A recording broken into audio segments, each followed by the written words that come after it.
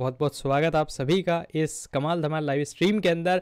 Complete flamingo को one shot के अंदर हम यहाँ पर आज कवर करने वाले हैं। टोटल आठ चैप्टर है अपने फ्लेमिंगो के और वन पेज नोट्स मैंने आपको ऑलरेडी प्रोवाइड किया तो उसके हिसाब से हम आगे बढ़ेंगे और एकदम कंसाइज वे में चीज़ों को लेते हुए चलेंगे। आपके जो भी डाउट्स हो, गिला, शिकवा, दुख, दर्द हो, उसको आप बता सकते हैं कॉमेंट सेक्शन में, उसको हम लेते हुए आगे बढ़ेंगे।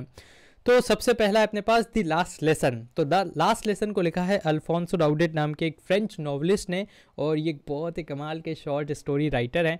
अगर हम बैकग्राउंड देखें इस चैप्टर का तो ये जो चैप्टर है, वो फ्रैंक प्रूशियन वॉर जब चल रहा था, है ना? प्रूशिया मतलब आज का जर्मनी। तो फ्रांस और जर्मनी के बीच में वॉर चल रहा था, और फ्रांस को बहुत ही बुरी तरह से हराया जाता है प्रूशियन आर्मी के द्वारा, और प्रूशियन आर्मी को उस टाइम पे बिस्मार्क नाम के कमांडर लीड कर रहे थे। इस स्टोरी के अंदर फ्रेंच के दो डिस्ट्रिक्ट एल्सिस और लॉरेन, वो अब प्रूशिया के हाथ में आ चुके थे। तो ये इसका एक बैकग्राउंड है। अगर हम की पॉइंट्स को देखें तो यहाँ पर प्रूशिया कंट्रोल ले लेता है एल्सिस और लॉरेन के ऊपर। एंड अब वहाँ पर ऑर्डर आते हैं कि भाई साहब, आपको सिर्फ़ और सिर्फ़ जर्मन ही पढ़ानी है अपने इन दो डिस्ट्रिक्ट्स के स्कूल्स के अंदर। तो फ्रेंच टीचर जैसे मिस्टर एम एम एल उनकी अब कोई ज़रूरत नहीं थी एंड उनको अब छोड़ना पड़ेगा, जो स्कूल है वो। फ्रेंड्स जो कि मिस्टर एम एम का एक स्टूडेंट रहता है, वो उसको रियलाइज़ होता है कि यार भाई साहब, आज तो लास्ट फ्रेंच लेसन है। तो फ्रेंड्स को बहुत ज़्यादा रिग्रेट होता है कि यार क्यों मैंने पहले इस चीज़ को नहीं पढ़ा और क्यों मैंने पहले लेसन्स को सीरियसली नहीं लिए। एम एम एल अपना जो फाइनल लेसन है, उसको एकदम डिवोशन के साथ पढ़ाते हैं, लेकिन वो बच्चों को ब्लेम भी करते हैं। टीचर्स को किड्स को पेरेंट्स को सबको ब्लेम करते हैं कि अरे यार, आप सभी ने नेग्लेक्ट किया है इस लैंग्वेज को। वो प्रेस करते हैं कि भाई साहब फ्रेंच सबसे क्लियर लॉजिकल और सबसे ब्यूटीफुल लैंग्वेज है। एम हेमल एडवाइस करते हैं क्लास को कि आपको अपनी मदर टंग को वैल्यू करना चाहिए, क्योंकि ये बहुत ज़्यादा क्रूशियल है कल्चरल आइडेंटिटी के लिए।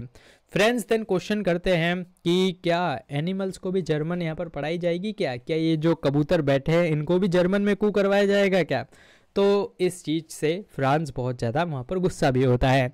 एम हेमल फिर लास्ट में लेसन को एंड करते हैं ब्लैक बोर्ड की तरफ़ मुड़ते हैं और लिख देते हैं, चुपचाप विवा ला फ्रांस इसका मतलब होता है लॉन्ग लिव फ्रांस फ्रांस अमर रहे और इस तरह से वो अपने लव को एक्सप्रेस करते हैं फॉर द लैंग्वेज अगर हम इसके कैरेक्टर स्केच देखें, उसके पहले थीम देखें तो इसके अंदर एक तो प्रोकैस्टिनेशन के बारे में बताया गया है। एक बताया गया है कि कैसे यार लैंग्वेज एक व्यक्ति के लिए बहुत ज़्यादा प्रीशियस रहती है। और तीसरा यहाँ पर बताया गया है इंपॉर्टेंस ऑफ़ फ्रीडम कि जो स्वतंत्रता है, उसकी वैल्यू आदमी को जब भी पता लगती है, जब उसके ऊपर कोई गुलामी का बोझ डाल दे, है ना, या फिर कोई इसको गुलाम बना ले तो ये इसकी थीम है। देन कैरेक्टर स्केच के अंदर हम देखें तो मिस्टर एम एम एल जो कि एक फ्रेंच टीचर हैं स्ट्रिक्ट हैं सेल्फिश भी हैं, क्योंकि वो कई बार बच्चों को भेज देते थे कि, जाओ, आज आपकी छुट्टी, मैं फिशिंग करने जा रहा हूँ अपनी मोहतरमा के साथ। देन उसके बाद वो एक ऑनेस्ट सेंसिटिव आदमी है और बहुत ज़्यादा प्राउड है उनको फ्रेंच होने पे और वो पैशनेट भी हैं फ्रेंच लैंग्वेज के लिए। जबकि हम हमारे प्यारे से चिंटू फ्रेंड्स की अगर बात करें तो वो बहुत ज़्यादा केयरलेस है ना स्कूल जाने के लिए वो बंक भी मार लेता है कई बार स्कूल नहीं जाने के लिए। देन वो कॉन्शियस है अपनी ड्यूटीज़ के लिए। एडमायर नेचर का, है ना? नेचर बहुत पसंद है भाई को। देन उसके बाद ऑब्जर्वेंट है, चीज़ों को ऑब्ज़र्व करता है। जैसे जब वो स्कूल जा रहा होता है, देखता है कि भाई साहब बुलेटिन बोर्ड के आगे भीड़ लगी हुई है। स्कूल के आगे पहुँच जाता है तो देखता है कि भाई साहब आज इतना सन्नाटा क्यों है है ना? देन उसके बाद वो सेंसिटिव है इनोसेंट है और एक अच्छा थिंकर भी है। देन एक इंपॉर्टेंट पॉइंट एग्ज़ाम के लिए पीजन्स वाला कि लास्ट फ्रेंच जब क्लास थी तो जो फ्रेंड्स है, वो पीजन्स को देखता है और सोचता है कि क्या अब ये जो जर्मन के लोग हैं, ये पीजन्स को भी कू करवाएँगे क्या? तो बेसिकली ऐसा इसलिए बोला जाता है क्योंकि ये फ्रेंच मैन जो थे, जो फ्रेंच के लोग थे, उनके फियर को दर्शाता है कि यार कहीं ये हमें कम्प्लीटली सब्जुकेट ना कर ले। फिजिकली तो कर ही रहे कहीं हमारी कल्चरल आइडेंटिटी तक को भी ये ना मिटा दें, है ना? तो ये उनको डर लग रहा था। तो ये अपने पास पहला चैप्टर उम्मीद है आपको समझ में आ गया होगा। अगर इससे रिलेटेड कोई भी डाउट्स हो तो आप बिल्कुल कमेंट बॉक्स में मुझे बता सकते हैं। अगले चैप्टर की ओर हम कूंच करते हैं और सेकंड चैप्टर है लॉस्ट स्प्रिंग जिसको अनीस जंग के द्वारा लिखा गया है। बहुत ही फ़ेमस है राइटर है और इनका जन्म राउर केला में हुआ था। बैकग्राउंड अगर हम देखें तो अनीस जंग यहाँ पर वॉइस रेस करती है चाइल्ड लेबर के बारे में और यहाँ पर वो कोशिश करती है कि यार गरीब बच्चों को पढ़ाया जाए, उनको एजुकेट किया जाए और यहाँ पर जब सिंस दो पार्ट्स में इस चैप्टर को लिखा है। पहला जो पार्ट है वो तो अपना है about the sometimes I finder रूपी है ना? जो कि है गार्बेज uh, जो इकट्ठा करते हैं रैक पिकर्स का। सेकेंड चैप्टर है बेंगल सेलर्स का। तो दोनों चैप्टर्स के अंदर अलग अलग थीम्स को उठाया जाता है। पहली बात चाइल्ड लेबर को तो दोनों में उठाया जाता है।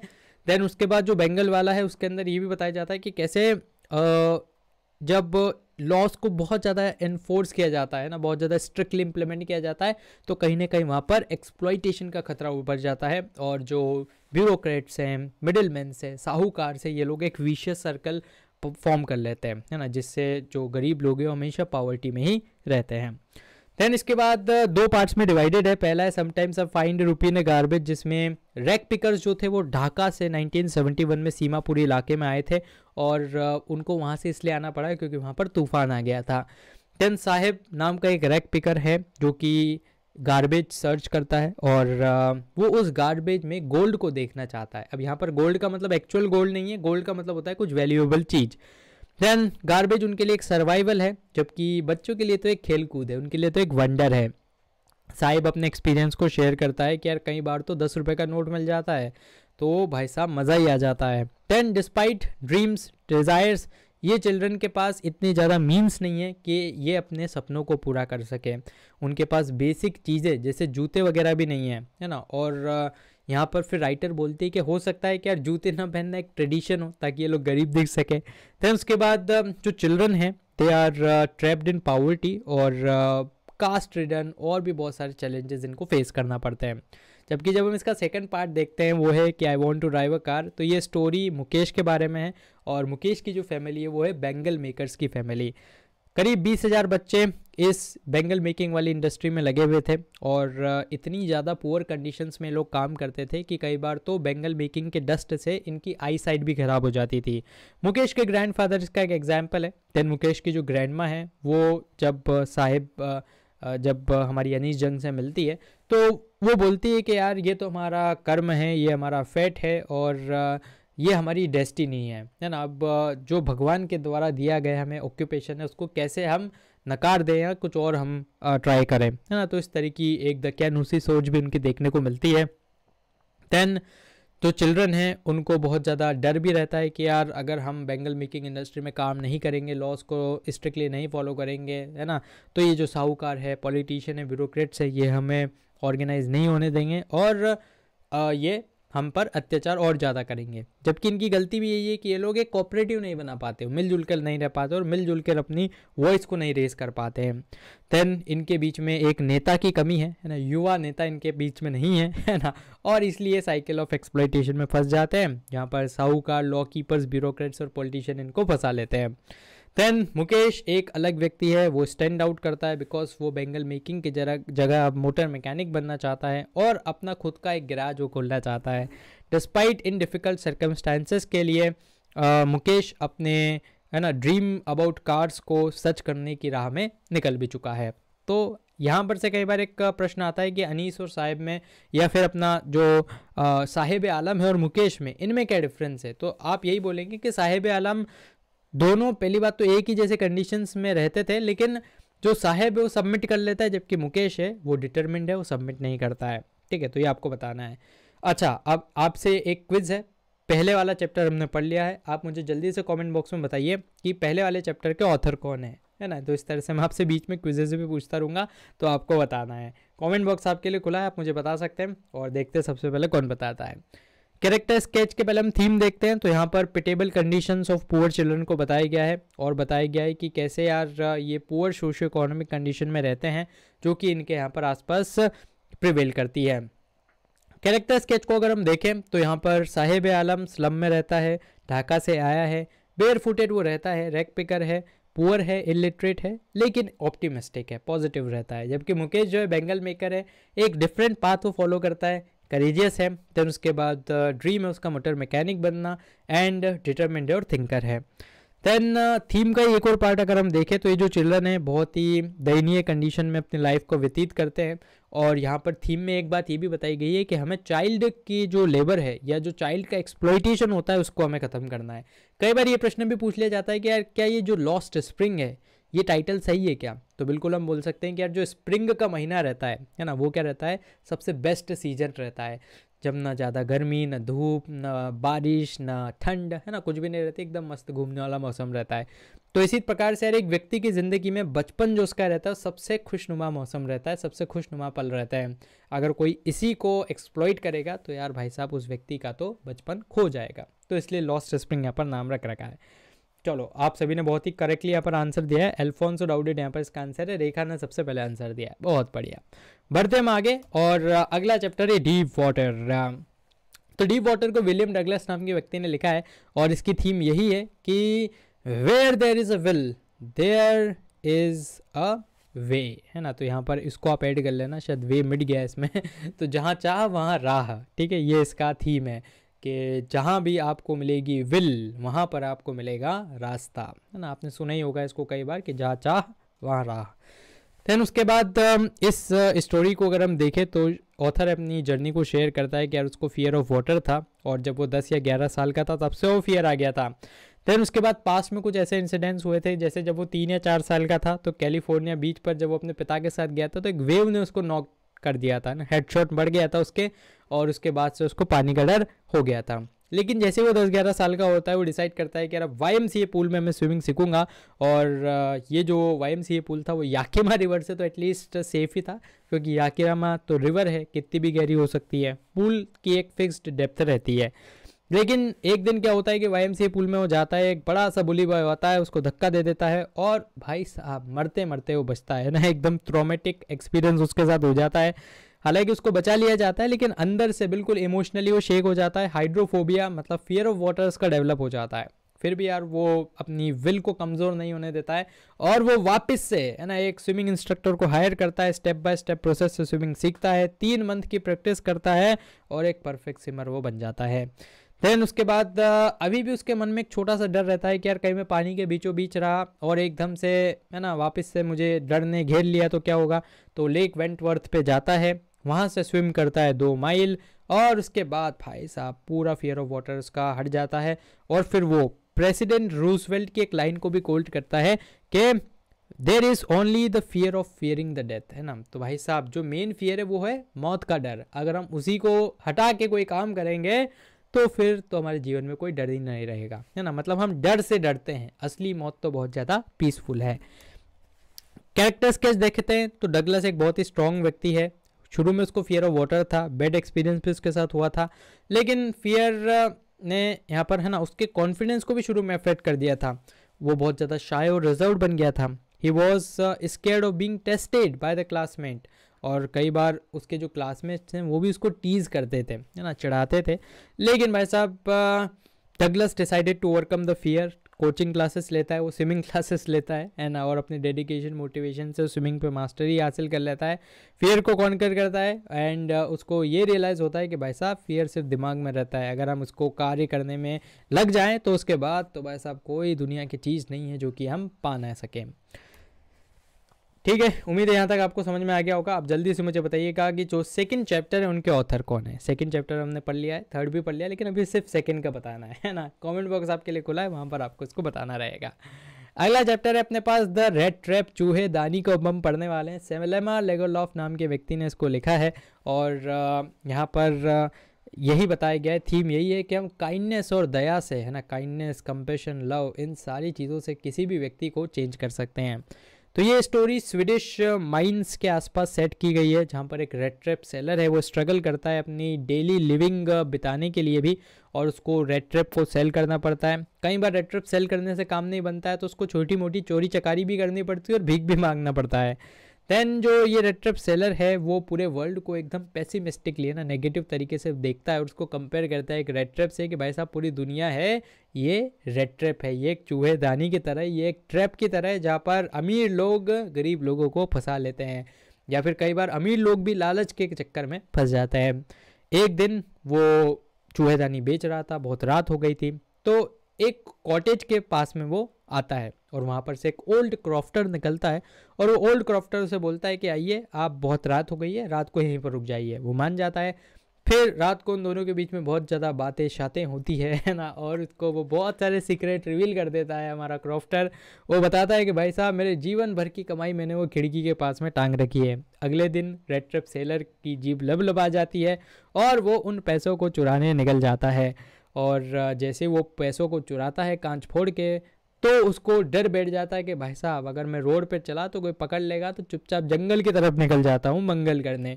लेकिन जैसे ही वो जंगल की तरफ़ जाता है तो वो खो जाता है और थका हारा एकदम गिरने ही वाला होता है। उसते में उसको एक आयरन मिल की आवाज़ आती है। फटाक से उसकी तरफ़ जाता है।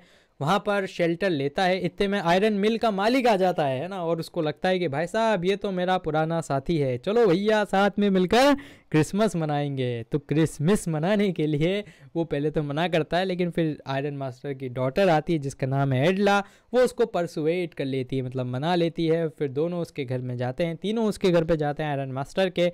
लेकिन वहाँ पर अच्छे से शुरू में तो खातिरदारी होती है। फिर जैसे वो अगले दिन चर्च जाते हैं तो वहाँ पर उनको पता लगता है कि भाई साहब, ये तो आयरन मास्टर का दोस्त नहीं है, ये कोई सोल्जर नहीं है, ये तो एक चोर है।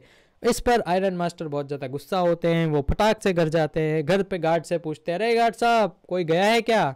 गार्ड साहब बोलते हैं कि हाँ भाई साहब, एक आदमी जो आपके यहाँ रुका था, वो चला गया है। अरे भाई साहब, कितना धन ले गया वो, है ना? सारा बहुत सारा ट्रक भर के माल तो नहीं ले गया तो इस पर गार्ड बोलता है कि नहीं नहीं, वो तो और उल्टा एडला मैडम के लिए गिफ्ट छोड़ गए हैं। ना ना तो फिर वो गिफ्ट को खोला जाता है, उसमें एक लेटर रहता है चूहेदानी रहती है और वो तीस क्रोनर जो उसने चुराए थे, वो रहते हैं। उस लेटर में वो लिखता है कि मुझे माफ़ करना, मैं चोर था, लेकिन आपने मुझे इतना अच्छे से ट्रीट किया कि मेरे अंदर दया, करुणा, ये सब जाग उठी और अब मैं चोरी चकारी सब कुछ एकदम छोड़ता हूँ। Thanks a lot Edla madam. और लास्ट में वो साइन करता है एज कैप्टन वॉन स्टेल तो इस प्रकार से एडला के काइंडनेस कंपेशन और लव से एक व्यक्ति की पूरी ज़िंदगी बदल चुकी थी। कैरेक्टर स्केच देखते हैं तो एडला पूछा जाता है। एडला ओल्डेस्ट डॉटर थी आयरन मास्टर की। बहुत ज़्यादा प्रिटी नहीं थी, लेकिन हाँ काइंड हार्टेड थी कंपेशनेट थी और स्मार्ट थी, क्योंकि उसने शुरू में पहली नज़र में पकड़ लिया था कि शायद ये चोर है। दैन उसके बाद एक अच्छी होस्ट थी, एक अच्छी ह्यूमन बींग थी, जबकि पेडलर जो है अपना वेगाबॉन्ड मतलब आवारा था रेड ट्रेप बेचा करता था और अपनी इनकम को सप्लीमेंट करने के लिए चोरी चकारी भी किया करता था।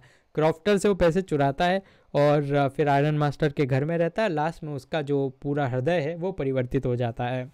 कमेंट बॉक्स आपके लिए खुला है। चलो, आप में से आपने आंसर सही दिया है। अनीस जंग, सबसे पहले आंसर दिया है, सीक्रेट टीचर ने। बहुत ही बढ़िया भाई साहब, परफेक्टली आप काम कर रहे हो। अब इसी बात पे आप मुझे बता दीजिएगा कि थर्ड चैप्टर डीप वाटर को किसने लिखा है ना? लिंक्स ये जो कॉमेंट्स है, आप बिल्कुल कॉमेंट सेक्शन में कर सकते हैं। आगे बढ़ते हैं, पांचवा चैप्टर, हमारे प्यारे बापू से रिलेटेड ये चैप्टर है, और इसको लिखा है लुइस फिशर ने, है ना? कई बार बच्चे कन्फ्यूज़ हो जाते हैं कि इसको महात्मा गांधी ने लिखा है। महात्मा गांधी तो इसके मेन कैरेक्टर है। लिखा है इसको लुइस फिशर ने है। इसकी थीम क्या है? पहला तो एक भाई साहब अगर अच्छी लीडरशिप रहेगी तो आप बहुत बड़े बड़े परिवर्तन कर सकते हैं।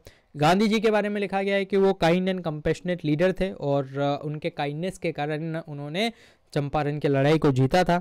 एंड देन तीसरा है कि गांधी जी यहाँ पर वॉयलेंस भी नहीं करते, कोई मारधार नहीं करते, चुपचाप सिविल डिसोबीडियंस मूवमेंट चलाकर वो क्या कर लेते हैं? लोगों के दिल पर फतेह हासिल कर लेते हैं। की पॉइंट्स अगर हम देखें तो यहाँ पर गांधी जी हेल्प करते हैं पुअर पेजेंट्स को चंपारण में 1916 है ना? हालाँकि चंपारण सत्याग्रह 1917 में हुआ था, लेकिन 16 से थोड़ी प्रोसेस स्टार्ट हो गई थी। देन एरेबल लैंड मतलब होता है जो ऐसी भूमि जो कि उपजाऊ हो तो एरेबल लैंड को ओन करते थे कौन? अंग्रेज़ लोग उसको ओन करते थे। जबकि जो बंजर भूमि थी वो भारतीय किसानों के पास थी। अब ये जो एरेबल लैंड थी, उसके 15 परसेंट ज़मीन पर किसानों को इंडिगो उगाना था और पूरी जो फ़सल रहेगी इंडिगो की, वो एज ए रेंट देनी थी। ठीक है भाई, सब चल रहा था सिस्टम लेकिन जर्मनी ने सिंथेटिक डेवलप कर ली इंडिगो अब जैसे ही आर्टिफिशियल इंडिगो को डेवलप किया गया तो एकदम नेचुरल इंडिगो के दाम गिर गए।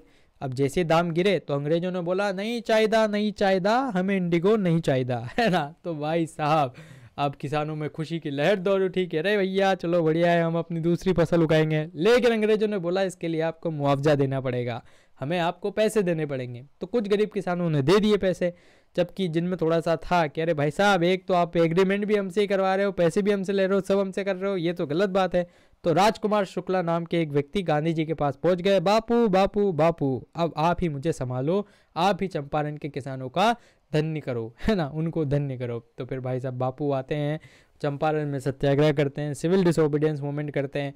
इन स्टार्टिंग में वो सारी लॉयर्स को भी डांटते हैं कि भाई साहब, तुम लॉयर भारत के हो या फिर उधर वालों के हो, है ना? इनकी आप मदद करो। क्यों आप इनसे बड़ी बड़ी फ़ीस चार्ज करते हो? तो उस पर लॉयर भी बोलते हैं कि नहीं नहीं नहीं बापू, अब हम इनसे ज़्यादा फ़ीस चार्ज नहीं करेंगे। गांधी जी लड़ाई लड़ते हैं और लास्ट में चंपारण की लड़ाई गांधी जी जीत जाते हैं। है ना? और गांधी जी इस इनिशियल में तो बोलते हैं कि हमें पचास परसेंट जो भी रिफंड है वो चाहिए। तो उस पर अंग्रेज़ बोलते हैं कि, बापू, हमने थोड़ा खर्च कर लिया है है ना? पचास तो नहीं दे पाएँगे, पच्चीस ले लो। तो गांधी जी बोलते ले भाई साहब, पच्चीस दे दे। क्योंकि गांधी जी का मेन मकसद पैसे लेना या पैसे कमाना नहीं था। गांधी जी का मेन मकसद था अंग्रेज़ों को झुकाना, जो गांधी जी ने कर दिया था। फिर गांधी जी ने देखा कि भाई साहब, सिर्फ़ इससे काम चलेगा नहीं, यहाँ पर सोशल अपलिफ्टमेंट करना पड़ेगा। तो गांधी जी ने एजुकेशन हेल्थ हाइजीन इन सभी पे भी काम किया और वहाँ के लोगों को सेल्फ रिलायंस का पाठ पढ़ाया। देन इसके बाद कैरेक्टर स्केच राजकुमार शुक्ला का यहाँ पर पूछा जाता है। तो राजकुमार शुक्ला एक पुअर शेयर क्रॉपर थे विक्टिम थे, क्योंकि अंग्रेज़ों ने इन पर भी अत्याचार किया था।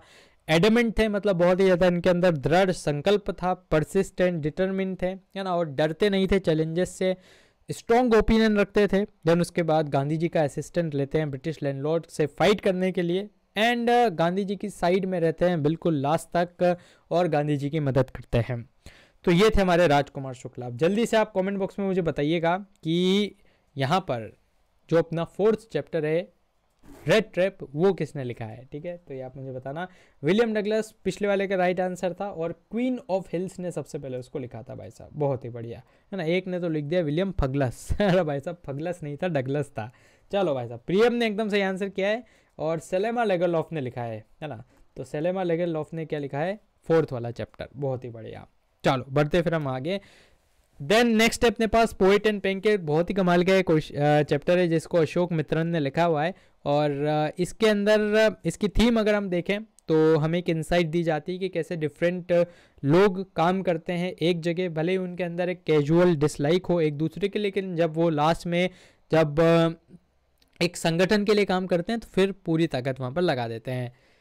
ये जो चैप्टर है, इसकी स्टार्टिंग होती है अशोक मित्रन से, जो कि जेमिनी स्टूडियो के बारे में बात करते हैं, जहाँ पर पेनकेक नाम की कंपनी है, उसका मेकअप बहुत ज़्यादा यूज़ किया जाता था। और बिल्कुल ट्रक भर भर के ये मेकअप को मंगाया जाता था, है ना? एक्टर्स को भी कई बार चैलेंजेस फेस करने पड़ते थे, क्योंकि इतना ज़्यादा मेकअप जब उनके ऊपर लगाया जाता था तो वो और ज़्यादा अगली दिखना स्टार्ट हो जाते थे। जो ऑथर था, उसकी इनिशियल तो इच्छा थी कि भाई साहब वो एक एक्टर बने, नहीं तो डायरेक्टर बन जाए, लेकिन भाई साहब उसकी इच्छाओं पर सारा पानी फिर जाता है। एक ऑफ़िस बॉय सुबू की यहाँ पर बात की गई है, जो कि भाई साहब, वो भी आया तो एक्टर बन नहीं था। लेकिन भाई साहब, है ना, जो, ये जो सुबू है है ना, ये तो बेसिकली क्या होता है ऑथर के पास आता है बार बार कंप्लेन ले लेके। और ऑथर सस्पेक्ट करते हैं कि भाई साहब सुबू का जो ब्राह्मीण बैकग्राउंड है, वो उसको एडवांटेज देता है। नहीं नहीं, वो ऑफ़िस बॉय है, वो कंप्लेन लेके आता था सुबह की ठीक है? सॉरी थोड़ा सा कंफ्यूजन हो गया था। ऑफ़िस बॉय जो था, वो बार बार सुबह की कंप्लेन कंप्लेन लेके आता था अशोक मित्रन के पास में। और ये जो सुबह था, ये तो भाई साहब कट्टमंगलम सुबह इसका नाम था और बहुत ही रिसोर्सफुल लॉयल और कमाल का व्यक्ति था जिसको सभी लोग प्यार करते थे। था वो अशोक मित्रन के लेवल का ही, लेकिन भाई साहब जो उसके अंदर का टैलेंट था, उसके चलते वो जेमिनी स्टूडियो में सेकेंड नंबर का आदमी बन गया था। ना, पहले नंबर का आदमी तो जेमिनी स्टूडियो का बॉस था और सेकेंड नंबर पर ये था। वर्सेटाइल था, सारे काम कर लेता था। देन एक बार क्या होता है जेमिनी स्टूडियो होस्ट करते हैं मॉरल रीआर्मामेंट आर्मी जो कि एक फॉरेन थिएटर का ग्रुप था। वो आता है परफॉर्म करते हैं। भाई साहब, क्या गजब के कॉस्ट्यूम्स और सेट्स इनके रहते हैं। एक और गेस्ट आते हैं स्टेफन स्पेंडर जो कि विज़िट करते हैं जेमिनी स्टूडियो को, लेकिन भाई साहब उस टाइम पे तो उनको कोई नहीं जानता था। फिर बाद में अशोक मित्रन को पता लगता है कि अरे भाई साहब, ये तो बहुत ही फ़ेमस राइटर थे। देन और कुछ पॉइंट्स मैं यहाँ पर बता देता हूँ कि जो जेमिनी स्टूडियो था वहाँ पर कम्युनिज्म uh, की जो फीलिंग्स थी बहुत ज़्यादा फैली हुई थी और ऑलमोस्ट uh, इसी को अपोज करने भी आते हैं ये मॉरल रीआर्मामेंट वाले है ना? जो कि यहाँ पर क्या प्रमोट करते हैं? भाई साहब डेमोक्रेसी लाओ लोकतंत्र लाओ इंडिविजुअलिज्म रहे है ना? सबकी आवाज़ को सुना जाए तो इन सारी चीज़ों पे फोकस किया जाता है। देन कैरेक्टर स्केच में कौटमंगलम सुबू का ही आता है तो हाईली रैंक था हाईली रेस्पेक्टेड था नंबर दो था। चेयरफुल रहता था हमेशा। और भाई साहब फेलियर्स तो कभी इसके मूड को अफेक्ट ही नहीं कर पाते थे। अपने बॉस से लॉयल रहता था, बहुत ज़्यादा क्रिएटिव था टैलेंटेड था और इस सुबह को एकदम लवेबल और सेल्फलेस पोर्ट्रे किया गया है अशोक मित्रन के द्वारा। ठीक है? बॉस का नाम क्या है? तो बॉस का नाम तो शायद यार मेंशन नहीं है चैप्टर में तो अपने को उसको याद नहीं रखना है। अब आप मुझे बता सकते हैं कि चैप्टर फाइव के कौन है ऑथर कमेंट में कमेंट बॉक्स में आप बिल्कुल कमेंट कर सकते हो। चलिए भाई साहब, बहुत सही, एकदम परफेक्ट उम्मीद है यहाँ तक चीज़ें समझ में आ रही होगी, कोई दिक्कत नहीं होगी, कोई हो तो आप बता देना बेझिझक। चैप्टर सेवन है इंटरव्यू जिसको क्रिस्टोफर सिल्वेस्टर के द्वारा लिखा गया है, और ये इनकी पेंगविन बुक ऑफ़ मीटिंग्स के अंदर छपा था। थीम क्या है इसकी? तो यहाँ पर फोकस किया जाता है कि यार कैसे जो इंटरव्यू है, बहुत ही कमाल का इन्वेंशन है, और इससे सेलिब्रिटी के वेरियस यहाँ पर एस्पेक्ट्स बाहर निकल के आते हैं। हालाँकि सेलिब्रिटीज़ के इस पर वेरियस व्यूज़ थे ना, कुछ केस पे पॉजिटिव व्यू थे, कुछ केस के नेगेटिव व्यू थे। तो क्रिस्टोफर डिस्कस करते हैं वेरियस चैलेंजेस क्या या एडवांटेजेस क्या होते हैं इंटरव्यू के। और कुछ लोग तो इंटरव्यू को as a source of truth मानते हैं एंड uh, एक वे मानते हैं to answer the public question है ना। पब्लिक इंडिविजुअली तो जा नहीं पाएगी उनसे अपने क्वेश्चन पूछने तो इंटरव्यू के माध्यम से उनसे पूछे जा सकते हैं। जबकि कुछ लोग सोचते हैं कि भाई साहब ये तो हमारी लाइफ के अंदर एक इंट्रूजन है है ना। ये तो एक दखल अंदाजी है हमारी जीवन में। जैसे राइटर एस पॉल जो थे Naipaul Lewis Carroll Rudyard Kipling और एच जी वेल्स के नेगेटिव व्यूज़ थे। सोल ये जो अपने पास सेओल बेलो हैं, वो डिस्क्राइब करते हैं being interview is a disturbing and diminishing but acknowledge करते हैं कि interview as a serviceable medium of communication है ना, कि भाई साहब डिस्टर्ब तो करता है, लेकिन एक अच्छा मीडियम ऑफ़ कम्युनिकेशन भी है। सेकेंड पार्ट में मैंशन किया जाता है अम्बर्टो इको के द्वारा, और यहाँ पर जो अम्बर्टो इको है, इनका इंटरव्यू लिया जाता है मुकुंद पद्मनाभन के द्वारा, जो कि द हिंदू के अंदर जर्नलिस्ट होते हैं। तो अम्बर्टो इको एक ऑर्थर है नेम ऑफ़ द रोज नाम की नॉवल के। और बहुत सारे इन्होंने अपने नॉवेल्स वगैरह सब पब्लिश किया है। है ना, ये खुद भी एक कई यूनिवर्सिटी में प्रोफेसर रहते हैं। तो ईको बोलते हैं कि भाई साहब, है ना, इनसे जब पूछा जाता है कि यार इतने सारे काम कैसे कर लेते हो ईको साहब? तो ईको साहब बोलते हैं कि अरे यार, जैसे यूनिवर्स के अंदर एम स्पेसेस रहती है ना, जिनको ये इंटरस्टाइसिस बोलते हैं। कि ये जो एम स्पेसेस हैं, हमारे जीवन में भी रहती है। और अगर हम इसका पॉजिटिवली इस्तेमाल करें तो हम इन एम स्पेसेस को भर के वो काम कर सकते हैं जो हमारी हॉबी है। फिर इनसे पूछा जाता है कि यार आपको एक नॉवलिस्ट बुलाएँ या फिर एक टीचर बुलाएँ, एक अकेडमिशियन बुलाएँ? तो ये बोलते हैं कि यार भाई साहब, मैं तो सिर्फ़ संडे को नॉवल लिखता हूँ, है ना? बाकी छः दिन तो मैं अपना जो मेन काम है वो करता हूँ। तो आप मुझे एज एन अकेडमिशियन ही बुलाओ। ठीक? देन यहाँ पर इसका कैरेक्टर स्केच में अम्बर्टो इको का ही पूछा जाता है तो उसको लिखना पसंद है और एकेडमिशियन की तरह उनको जाना जाए तो बहुत अच्छा लगता है। देन उसके बाद वो अपने आप को एज ए स्कॉलर मानते हैं नॉवलिस्ट की जगह क्योंकि नॉवल तो संडे को लिखते हैं। ओपन माइंडेड है इंटरव्यू को एक्नॉलेज करते हैं और डिस्प्ले uh, करते हैं ग्रेट सेंस ऑफ़ ह्यूमर को भी। आप कमेंट बॉक्स में आप मुझे बताइएगा कि पोएट एंड पेनकेक को किसने लिखा था? या ना लुइस फिशर ने लिखा था अपने पास चैप्टर फाइव तीन को। बहुत ही बढ़िया। बढ़ते हैं फिर हम आगे लास्ट चैप्टर है गोइंग प्लेसेस और गोइंग प्लेसेस के ऑथर है ए आर बार्टॉन और मॉडर्न uh, राइटर है है ना जो कि यहाँ पर प्रॉब्लम्स टीनेजर्स और एडोलेसेंस वाले बच्चों को फेस करनी पड़ती है, उसके बारे में बताते हैं। देन यहाँ पर इसकी थीम क्या है? तो बार्टन एक्सप्लोर करते हैं कि जो एडोलेसेंस है है ना, इस स्टेज में बच्चे क्या करते हैं? फैंटेसाइज करते हैं और हीरो वर्शिपिंग करते हैं, है ना, जैसे सोफ़ी वो क्या करती है? डेनी कैसी नाम के एक व्यक्ति को अपना हीरो मानती है। देन उसके बाद ये स्टोरी एक नेचुरली तरीके से लिखी गई है और यहाँ पर बताया गया है कि एडोलेसेंस को इस तरह से फैंटेसाइज नहीं करना चाहिए बिकॉज़ हर एक चीज़ की एक लिमिट होती है। ऑथर कन्वे करता है that building castles in the air है ना? हवा में महल बनाना एक अच्छी बात नहीं है। की पॉइंट्स को अगर हम देखें तो यहाँ पर स्टोरी में टीनेज गर्ल सोफ़ी की बात की गई है, जो कि डे ड्रीम करती है और वो चाहती है कि वो बड़ी होकर एक बुटीक खोले, फिर एक एक्ट्रेस भी बन जाए फ़ैशन डिज़ाइनर भी बन जाए जबकि उसकी जो फ्रेंड रहती है जेंसी वो बहुत ज़्यादा प्रैक्टिकल रहती है और बोलती है कि, भाई साहब, बड़े हो गए, हमें बिस्किट फैक्ट्री में काम करना है है ना? जहाँ पर अभी हम इंटर्नशिप कर रहे हैं। तो सोफ़ी एकदम जेंसी सोफ़ी को ग्राउंडेड रखने का भी काम करती है। सोफ़ी के दो भाई थे, जिसमें से जो बड़ा भाई था जियोफ वो एकदम साइलेंट रहता था। सोफ़ी को अच्छा नहीं लगता था कि, भैया, क्यों आप इतने साइलेंट रहते हो? अपनी फैंटेसी में मुझे भी शामिल करो। फिर उसके बाद सोफ़ी फैंटेसाइज करती है about the Irish football player Danny Casey जो कि है ना, बहुत ही बड़ा स्टार फुटबॉल प्लेयर होता है। तो सोफ़ी उसके साथ फैंटेसीज बना लेती है कि, अरे भाई, ये तो मेरा बॉयफ्रेंड है। है ना, और ये तो बार बार मुझसे मिलने आता है। दैन ऑफ़ जो कि एक बहुत ही सेंसिबल व्यक्ति रहता है, सोफ़ी का बड़ा भाई, है ना, उसको पहली बात तो बिलीव नहीं होता, लेकिन फिर भी वो सुन लेता है इसकी ऐसी बातें को। सोफ़ी डीपली इमर्स हो जाती है और अन मन गढ़त कहानियाँ बनाती है। है ना? एक बार मैच होता है, पूरा परिवार देखने जाता है। उसके बाद जो सोफ़ी है, वो वेट करती है कि भाई साहब, डेनी कैसी मुझसे मिलने आएगा। लेकिन ऑब्वियस सी बात है, वो नहीं मिलने आता है। थोड़ी देर के लिए उसका हार्ट ब्रेक होता है, लेकिन फिर वापस से वो मन गढ़न सपने देखना स्टार्ट कर देती है। अब एग्ज़ाम में पूछा जाता है भाई सब कैरेक्टर स्केच दोनों का, सोफ़ी और जेंसी का। तो सोफ़ी एक टीनेजर है डे ड्रीमर है, अपनी फैंटेसीज में रहती है एम्बिशियस है बुटीक ओपन करना चाहती है और एक एक्ट्रेस फ़ैशन डिज़ाइनर बनना चाहती है। जबकि जेंसी एकदम प्रैक्टिकल है सेंसिबल है और वो सोफ़ी को इस तरह के मन गढ़ंत वर्ड से बार बार खींच खींच के पीछे भी लाती है कह रहे बहन, अपन बिस्किट फैक्ट्री में काम करते हैं। देन उसकी एक आदत थी कि वो सीक्रेट नहीं रख पाती थी ना, बता देती थी सबको और सोफ़ी की तो वो अपोजिट थी। तो इस प्रकार से हमने आठ के आठ चैप्टर जो फ्लेमिंगो के प्रोज वाले थे, उनको कवर किया है है ना? उम्मीद है आपको ये अच्छे लगे होंगे। कोई आपके डाउट्स हो तो उसको आप कमेंट बॉक्स में पोस्ट कर सकते हैं। अगर आपको डिटेल में वाले चैप्टर पढ़ना है तो अपनी ब्रह्मा सीरीज़ ऑलरेडी लाइव है चैनल पे, जहाँ पर हमने डिटेल में हर एक चैप्टर को डिस्कस किया है, और इसके साथ साथ बहुत ही कमाल धमाल क्वेश्चंस को भी सॉल्व किए हैं, है ना? जिसमें expected question previous year question sample paper question सब कुछ सॉल्व है, और फ्री में आप इसको एक्सेस कर सकते हैं लिंक आपको डिस्क्रिप्शन में मिल जाएगा, है ना? इसी चैनल पर फ्री में ये डले हुए हैं तो वहाँ से आप इसको देख सकते हैं। अब आपके जो भी डाउट्स हो, उसको आप कमेंट बॉक्स में हमसे पूछ सकते हैं, है ना? इसी प्रकार से अगर आपकी विश रही तो हम विस्टास को भी कवर करेंगे, है ना? उसके भी वन पेज नोट सारे तैयार हैं। और पोएम्स वाले के तैयार हो चुके हैं उसके भी हम इस तरह से डिस्कस कर लेंगे, है ना? पोएम के कुछ टिप्स बता दो। तो पोएम्स यार, कल वन शॉट मैंने अपलोड किया था। कल शायद क्या, आज ही सुबह अपलोड किया था। तो उसको ज़रूर से देखना। बहुत ही कमाल का वीडियो है। और मतलब मैंने आज तक सबसे ज़्यादा वीडियो में मेहनत अगर करी है तो वही है है ना? तो एक बार देख लेना उसको। बहुत मतलब मेहनत से बनाया गया है वो वीडियो है। और अपने चैनल पे आपको मिल जाएगा। देन बॉस uh, का नाम वाइवाम एक्सटर्नल ने पूछा था। तो देखो यार अगर बाई चांस इस तरह से फैक्चुअल क्वेश्चन पूछे जाते हैं ना तो आप मना कर सकते हो पोलाइटली कि सर मैंने चैप्टर पढ़ा था अच्छे से लेकिन हो सकता है मुझसे नाम मिस हो गया हो। सॉरी मैं घर जाके उसको ज़रूर से देख लूँगा। ठीक है? तो इससे आपके मार्क्स नहीं कटते हैं।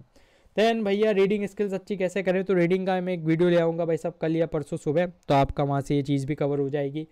देन सर um, अभी तक सिर्फ़ लिटरेचर क्या है वो भी फ्लेमिंगो तो यार विस्टाज और पोएम uh, वगैरह मैंने सब ऑलरेडी अपलोड कर दिए है तो उसको आप देख लो ब्रह्मा सीरीज़ के अंदर मिल जाएँगे आपको।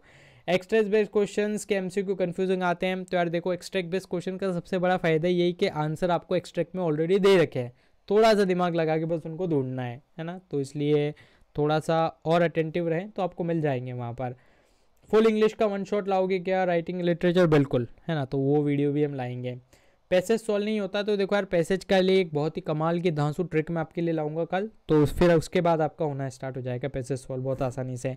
पोइटिक डिवाइसेस यार कल जो मैं वीडियो डाली थी वन शॉट की उसमें आपको मिल जाएगा तो वहाँ से आप देख लीजिएगा। राइटिंग सेक्शन कल आ जाएगा है ना? कल उसका वीडियो हंड्रेड परसेंट आई जाएगा। देन uh, और कोई अगर आपका डाउट हो तो उसको आप कमेंट बॉक्स में पूछ सकते हैं ना? आपके सभी डाउट्स को क्लियर करेंगे भाई सब हम।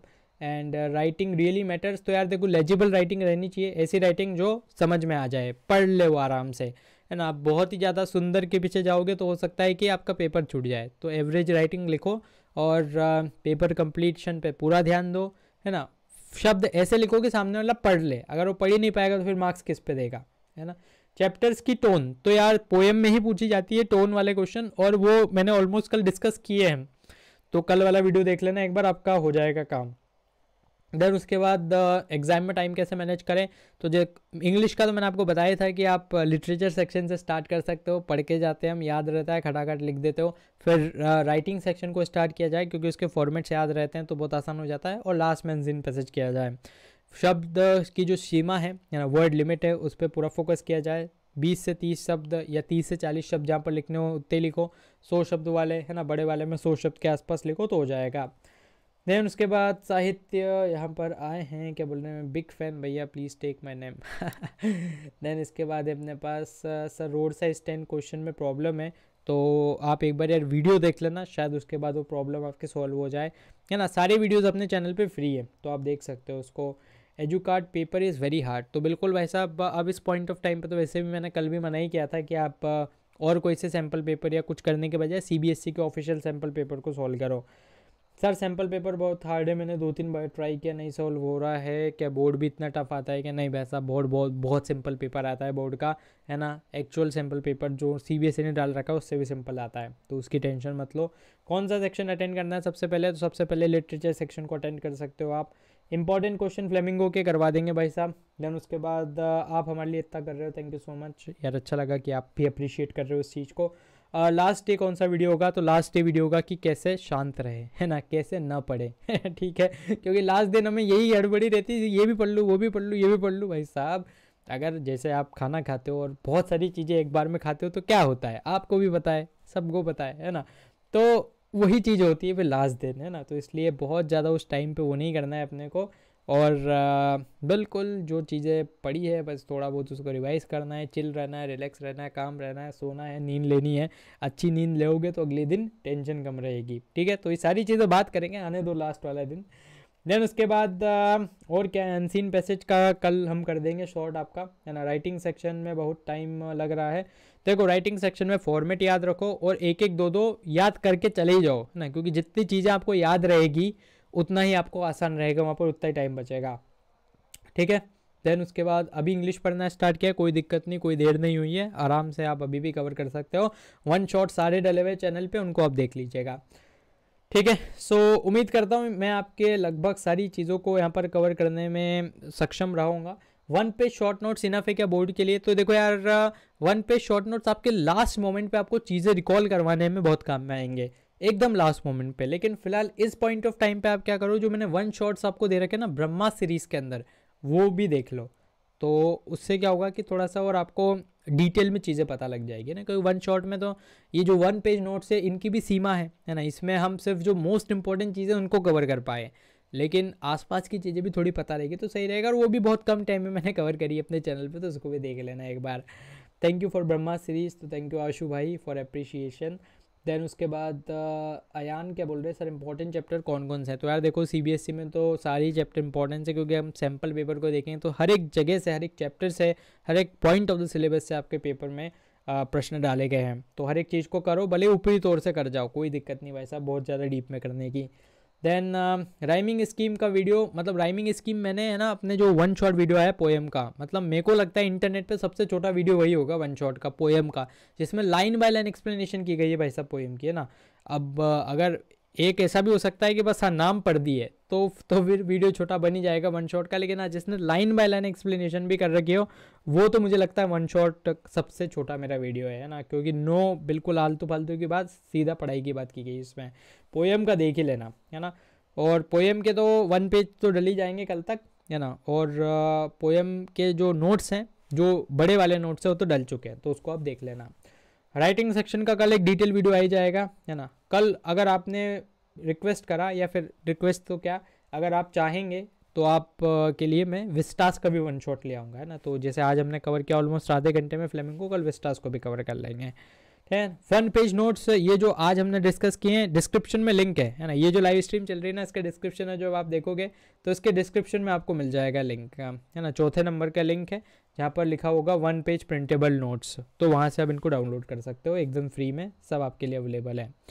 ठीक है बच्चा बाड़ी सो एन के क्वेश्चन सब कुछ डिस्कस्ड है अपनी ब्रह्मा सीरीज़ में वन स्टॉप सोल्यूशन है, उसके आगे कुछ नहीं करना है तो बस आप वो भी देख लोगे तो आपका काम चल जाएगा। ठीक है? उसमें अपन ने एम करें एक्सपेक्टेड क्वेश्चन करें previous year sample paper question सब कुछ कवर कर रखा है। तो वो अगर आप कर लोगे तो बस उसके बाद कुछ भी नहीं करना है ना पोएटिक डिवाइस सब कुछ जो आप यहाँ पर लिख रहे हो ना, सब यहाँ पर मैंने करवा रखा है। तो बहुत अच्छे से रिसर्च करके चीज़ें बनाई गई है तो बस आप तो उसको कंज्यूम करें है ना? मिठाई आपके मुँह तक आ गई है बस आपको खाना है है ना? अब खुद पूरा ज़ीरो से मिठाई बनाने के लिए नहीं बैठना है है ना? उससे टाइम वेस्ट होगा दूसरे सब्जेक्ट नहीं पढ़ पाओगे। चलिए सो so, उम्मीद करता हूँ कि यहाँ तक एकदम सही रहा होगा और आपको चीज़ें समझ में आई होगी है ना? लास्ट मोमेंट पे आप इसी वीडियो को वापस से देख लेना एक बार वन शॉट को मज़ा आ जाएगा सारी चीज़ें रिवाइज हो जाएगी। चलिए, फ़िलहाल के लिए मेरे साथ जुड़े रहने के लिए बहुत बहुत धन्यवाद। मिलते हैं कल आपसे, है ना? कल शायद से मैं थोड़ा सा लाइव स्ट्रीम जल्दी करूँगा तो एक बार आप ये चैनल को सब्सक्राइब कर लेना और टेलीग्राम पे ज्वाइन रहना ताकि आपको अपडेट्स मिल जाएँ लेटेस्ट जो भी है, ठीक है? सो मिलते हैं कल आपसे नेक्स्ट कमाल लेक्चर में लाइव सेशन में। फ़िलहाल के लिए इस वीडियो में इतना ही, है ना? चैनल सब्सक्राइब नहीं किया तो कर लेना वीडियो को लाइक नहीं किया तो कर लेना। और अपने दोस्तों के साथ शेयर कर देना ताकि उनको भी ये जो सॉलिड कॉन्टेंट मिल जाए। फ़िलहाल के लिए इस वीडियो में इतना ही। धन्यवाद। जय हिंद। जय भारत।